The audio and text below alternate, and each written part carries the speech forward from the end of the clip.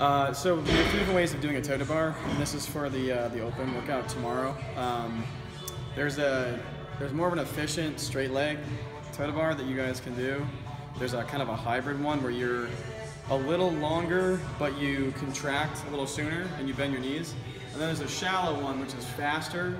Um, for the uh, for the workout tomorrow, you know, it depends on who you are and what you can do and all that stuff. But because you're going to be tired, I would suggest some kind of longer toe bar.